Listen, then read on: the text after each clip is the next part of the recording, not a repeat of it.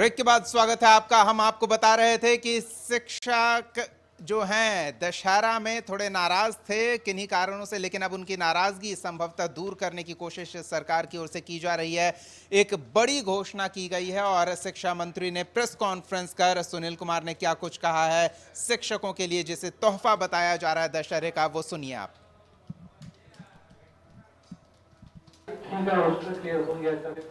जुलाई के महीने सर कितने दिनों का रोस्टर क्लियर हो गया है? आयोग कह रहा है कि एक बार शिक्षा विभाग रोस्टर क्लियर करके दे दे तो करीब करीब करीब करीब कुछ जगहों को छोड़कर सब जगह का हो गया। बहुत कम रह गए हैं। उसमें कुछ त्रुटियाँ थी क्योंकि जो एक पैमाने पर सब कुछ किया गया उसके बाद हाई कोर्ट का आदेश हुआ। फिर सुप्रीम कोर्ट में मैटर सब जुडिस है। तो अब तो हाई कोर्ट के जब आदेश को जो रिजर्वेशन जो बढ़ा उसको तो निरस्त किया गया तो फिर वापस उसमें जाने में त्रुटि नहीं रह जाए क्योंकि फिर कोई कोर्ट जाएगा। इस वजह दिक्कत हो रही है। और सब लोग आ, म, उसको ट्रेन रीट्रेन करना पड़ा फ्री एग्ज़ाम इस वजह से। आ आ अब उनसे बात करनी पड़ेगी लेकिन हम कोशिश कर रहे हैं। लोग अपना इसमें पटिशन दे सकते हैं। एक समय सीमा हम लोग निर्धारित करेंगे और एजुकेशन डिपार्टमेंट के पोर्टल पर उसको अपलोड करेंगे और हम लोग उसमें उन लोगों को 10 ऑप्शन देंगे। शिक्षकों को 10 ऑप्शन देंगे, काफ़ी ऑप्शन देंगे। एक, दो, तीन, चार, पाँच छः सात, आठ, नौ, दस ऑप्शंस रहेंगे उनके पास। और यथासंभव हम लोगों ने कोशिश किया है कि जो शिक्षक हैं अपने ही ज़िले में रहें। पहली बात तो ये है कि अपने ही ज़िले में रहें ताकि उनको सुविधा हो अपने ही ज़िले में।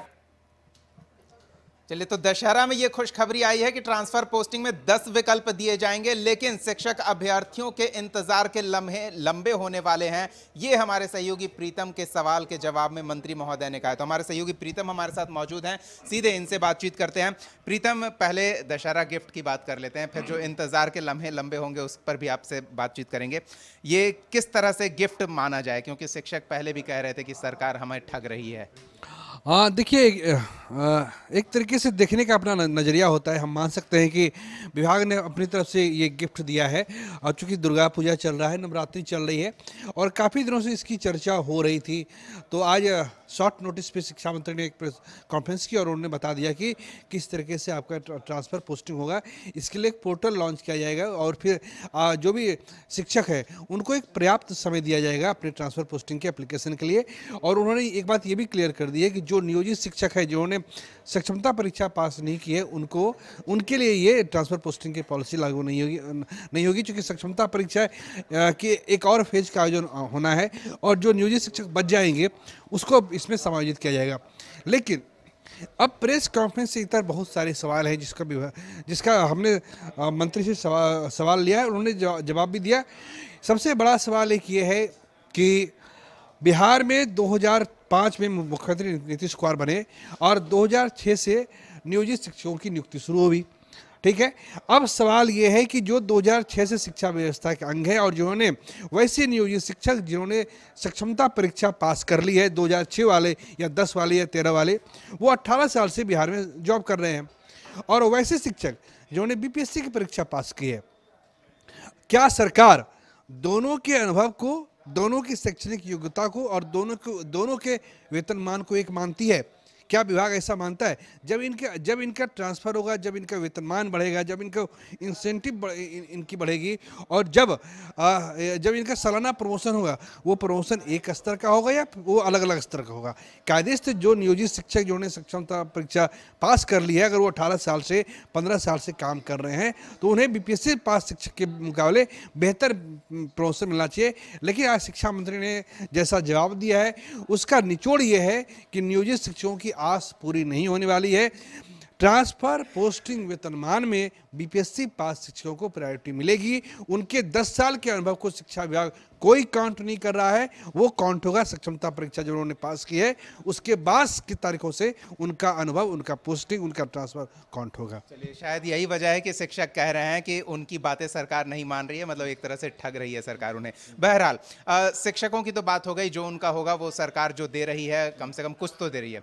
ये वो सोचें अगर तो। लेकिन जो शिक्षक अभ्यर्थी हैं, तीसरे चरण का परीक्षा देने के बाद अब परिणाम का इंतज़ार कर रहे हैं और इंतज़ार दो महीने पहले से कर रहे हैं। चर्चा बहुत ज़ोर से थी कि बीपीएससी रिज़ल्ट जारी कर देगी, क्योंकि पहले के दो रिज़ल्ट बहुत कम अंतराल पे आ ऐसे ऐसे इंतज़ार के लिए कुछ हद तक मीडिया कर्मी भी जिम्मेदार हैं, जो सरकार, जो बीपीएससी से हर बात पे पूछने लगते हैं कि, भैया, रिज़ल्ट कब आएगा, रिज़ल्ट कब परीक्षा हो गई, रिज़ल्ट आ जाएगा। सरकार रिज़ल्ट तो रुकने नहीं जा रही है। अब चूँकि पहले का अनुभव ऐसा है कि चूँकि तुरंत रिज़ल्ट जारी कर दिया गया है। लेकिन अपडेट ये है कि हमने जब मंत्री से पूछा कि, सर, ये बताइए कि कितने जिलों का रोस्टर आपके पास आ चुका है? तो उन्होंने कहा कि बेहद ही कम ज़िले बचे हैं जिनका रोस्टर आना बाकी है। एक बार रोस्टर आ जाएगा तो फिर मैंने पूछा कि रिज़ल्ट कब तक आएगा?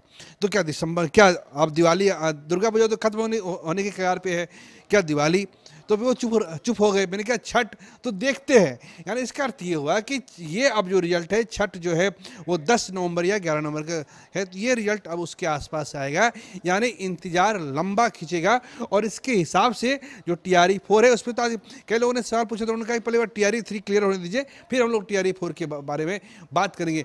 देखिए सर जो ताती तत्वा समुदाय का जो मसला, जो माननीय अदालत ने जो निर्णय दिया था, उसमें था कि उनको ईबीसी से जनरल कास्ट में सॉरी ईबीसी से उन्हें इसमें शामिल किया जाना था तो उसको लेकर एक कन्फ्यूज़न की स्थिति पैदा हुई और तमाम तरीके से बात रोस्टर क्लियर तक पहुँच गई। अब सरकार के सामने बाढ़ प्रबंधन भी है, तेरह चौदह ज़िले बाढ़ से प्रभावित हैं। तो सरकार के पास भी एक वजह है कि हम तो हम तो पहले आपदा को देखेंगे या पहले ट्रांसफ़र पोस्टिंग को देखेंगे। तो लबूलाब यही है कि अभी रिज़ल्ट आने में अब थोड़ा समय लगेगा, इंतज़ार और सही। धन्यवाद प्रीतम। तो थोड़ा और इंतज़ार कीजिए, लेकिन रिज़ल्ट आ जाएगा और अगर आपने अच्छे से परीक्षा दिया है तो परिणाम भी आपके बेहतर आएँगे। चलिए, हम